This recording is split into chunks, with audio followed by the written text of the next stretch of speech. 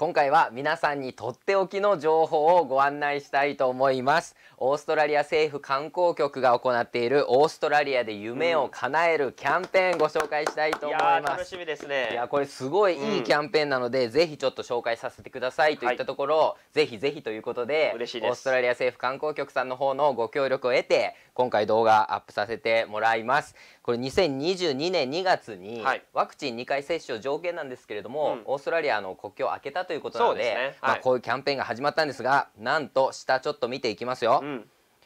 4泊7日の旅が、はい。えっと、2組4名様にプレゼントされると。すごいですね、うん、結構長い間嬉しいですね。ね、うん、このな7日間の旅行、うん、このサイトキャンペーンサイトをちょっと皆さんにご紹介しつつ、はい、あのいろんな旅行のプランがあるので、はい、はい、シドニーからメルボルン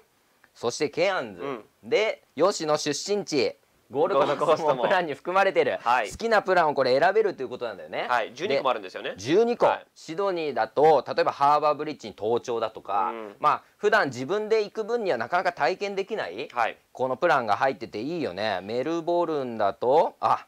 あ。グレートオーシャンロードですね、はい、はい、これも綺麗な場所なので、うん、ぜひ行きたい。そしてケアンズだとどうだろう。キャンプがあって、うん、コアラを抱っこもできるいいですね。ザ・オーストラリアザ・オーストラリア。プランもあります、うん、そして最後がゴールドコースト。よしはこれどこか知ってる場所があるのかな？そうですね。この11番はもしかして、うん、この島は行ったことあるかなと。宿泊砂の島があると、はい、これも楽しみです。まあこういったねプランツアーの中から当たるということで、はいうん。ちょっと応募方法の方ご説明していきたいと思います。応募方法なんですけれども、はい、応募とっても簡単なんです、うん、この画像をサイトからダウンロードして、はい、それをご自身のインスタグラムにポストする投稿する、はい、で「ハッシュタグオーストラリアで夢を叶える」というハッシュタグと、うん、もう一つ「ハッシュタグ夢を叶えたい都市名」をつけて、うん、もう投稿するだけなので。おえそれだけで？それだけです。あのインスタグラム初心者の私でもすぐに 多分5分もかからず。そうですね、はい、はい、皆さんと一緒にちょっと今やっていきたいと思います、私が選んだのはこちら6番ですね、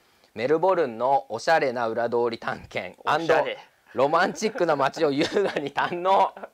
しつつちょっとこっそりね AFL を見に行っちゃおうかなと思って確かに自分ではね、はい、こういう場所は多分行かないと思うんですけど当たったらね、行ってもいいじゃないですか。うん。クリックすると含まれるものの案内も出てきます、はい、本場のバリスタコーヒーなんて飲めてしまう、でここに画像ダウンロードっていうのが出てくるので、はい、これをちょっと押してみますね。押すとダウンロードができます、うん、でこれをダウンロードして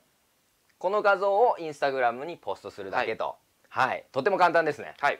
ということでこのダウンロードした画像がこちらですね、この画像を私はインスタグラムにポストをするとそれだけで応募は完了になります。すごいですね。はい。で、うん、ちなみにヨシが選んだのが、あ、はい。自分あのツアーのケアンズの7番に行きたいなと思ったんですけど、ケアンズのツアー、画像はこれですね。ここですね。星空。はい。ちょっとね。星空を見たかったか。東京だとねあんまり見れないので、ちょっとねケアンズまで行ってみたいなっていうのがあります。いや楽しみ。私どもでこれはあの応募投稿するので、はい、皆さんもぜひ投稿の方していただきたいんですけれども、はい、というまあとっても簡単な応募方法だったんですけれども、ねはい、このキャンペーン締め切りが4月29日金曜日の23時59分まで、はい、時間がない。までは OK なんですが、はい、とにかく金曜日までなので皆さんはぜひご応募ください。これも応募したいね。そうですね、うん、もう電車の中でもねパパッとできるので、うん、みんな応募してください。はい。オーストラリアで夢を叶えるキャンペーンごご紹介しました。ぜひ皆さんご応募ください